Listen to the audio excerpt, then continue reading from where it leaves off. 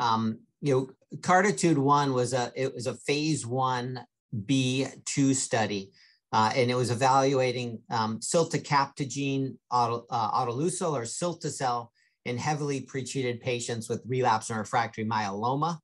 Um, we had previously um, published some uh, on this study one year um, data, and this at ASH this year was an update. It was really uh, data after a median duration of follow-up of two years. Now, um, cilta-cel is a BCMA targeted CAR T cell therapeutic, and that um, that is one of four or five right now that are moving forward in the in the research space of BCMA targeted therapies. We have one approved BCMA targeted therapy. Um, this study involved very heavily pretreated patients, six prior lines of therapy, 13 and, and a half percent of patients had extramedullary disease, 23% had um, high risk cytogenetics, 88% were triple class refractory, and 99% were actually refractory to their last line of therapy. So it, it was a really heavily pretreated population. And it was single agent therapy. Patients, as, as is true with all CAR T cell therapies, Patients get an apheresis. The cells are then sent for manufacturing. They get lymphodepletion chemotherapy about four to five weeks later uh, and hope to uh, create some space for the T cells to grow. They get, then get their T cell infusion, and then patients are followed for toxicity and response. And that's that was classic. This phase 1B uh, portion um, had previously been reported at ASH when, when 29 patients were treated.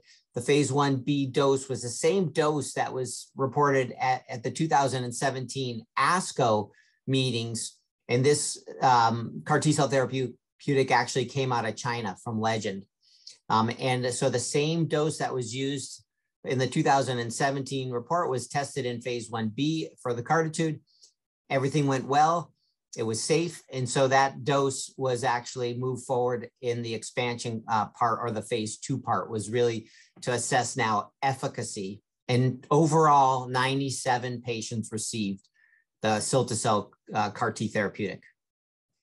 What was, um, uh, I think, really um, amazing results was that the overall response rate was um, close to 98%. Um, and 95% of patients achieved a, a very good partial remission or better. At one year, the stringent complete response rate was 67%, but now at two years of follow-up, the stringent complete remission rate was 83%.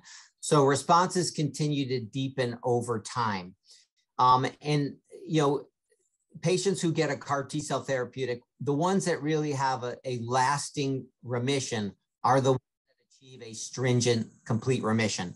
So 83% of patients achieved a stringent complete remission. That's a really an, another amazing an, another amazing result. If we look at um, progression-free survival, the median progression-free survival um, was still not esti estimable.